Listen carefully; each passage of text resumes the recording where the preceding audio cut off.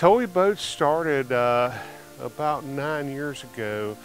Uh, I'm a former Keys guide, Everglades guide, and was living at the time back and forth between Tennessee and the Florida Keys. We saw a need out there for a uh, skiff that could do a lot of things and do them all very well. We needed something that was really a high performer in shallow water. Uh, it had to be tough. It had to be stable with big guys in it. It had to be something you could walk around and cast off of.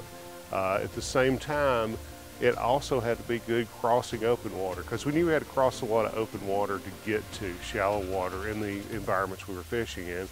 And it especially had to be tough. I mean, we may take the same boat that we're fishing for laid up tarpon in one week, and that very next week have that boat you know, up into Tennessee uh, fishing for striper or smallmouth on the Rocky River. That same boat may be up in Wisconsin two weeks later up into Canada fishing for muskie.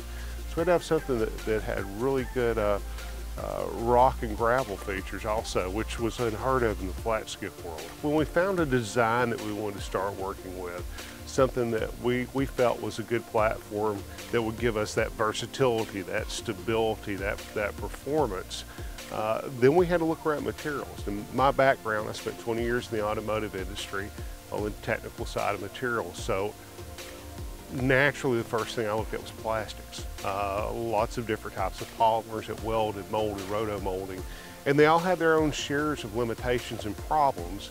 Uh, they're all very heavy. They all tend to crack if not processed correctly. And, uh, you know, we looked at metals, we looked at extruded aluminum, all kinds of different things. And what we finally landed on was a fiberglass based composite that was hand laid. It was the answer. Uh, we were able to come up with a proprietary lamination that we use in these boats that is super tough, super light. Uh, it's very labor intensive and we're the only folks doing it right now.